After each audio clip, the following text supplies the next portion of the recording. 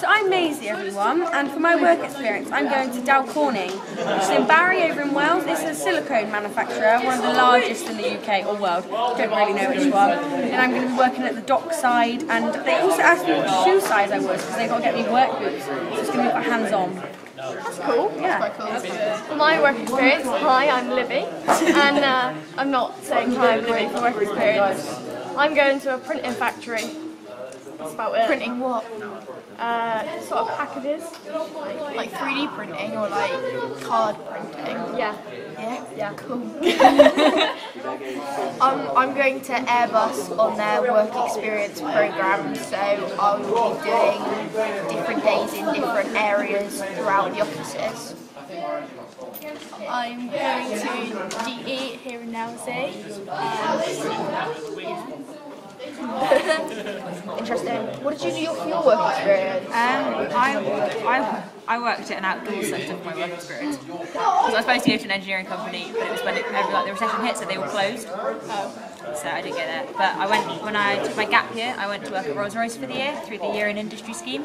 In Bristol, I was a helicopter service engineer, so looking after things like the Apache engines and the Sea King engines. That's cool. All that stuff. It was really good fun. I would really recommend that one. Um, and now I'm back as a graduate engineer, so I work in the additive manufacture team, looking at metal printing, so how we stuff build stuff up. Um, and seeing what we can do. So I had like I want to visit what you're doing. yeah, it's more than welcome. So we kind of had to rip up the design rule book really, because you no longer have to like machine it down. You can like build stuff up and put stuff in the middle. that You couldn't you couldn't machine in the middle. So that's it's really very blue sky. It's quite interesting. Interesting. So um, I think that women can bring a lot to the engineering industry actually because we're quite organised people, you know, get the job done quickly within time. And we're mature as well. So we kind of we focus on what we're doing. We don't like sidetrack. We tend not to argue too much. And we definitely involve like everybody's ideas, whereas some of the men they want to be in control and doing one thing. Yeah, and then working It together. doesn't work.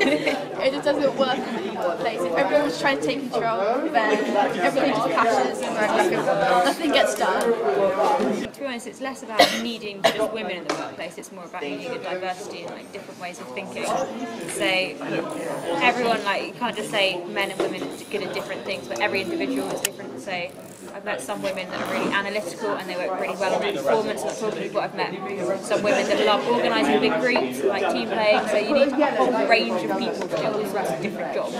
But the fact that if there isn't the diversity to find that range of people, there's kind of more. It's getting better, slowly, slowly. Like Thanks to programs like this where we get to do stuff. And I know there was Girls Get Set, which has been run by lots of companies to get girls involved in engineering that we have been involved with. Yeah, I think also um, when people think of engineering, they think it's quite like a manly job. I think that puts people off at our age because we kind of girls kind of then assume, oh, why should you do that if it's for men? which is a massive shame because like anyone can do any job. Exactly. Which is why I came here. I think this proves it. This proves it. This is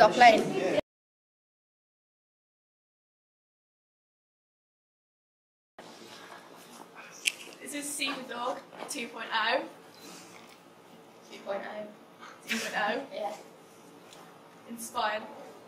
It was inspired by Mr. Tallow.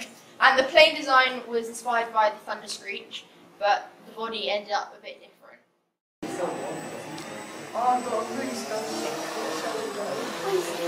Do everything slowly. This is the finale. Go.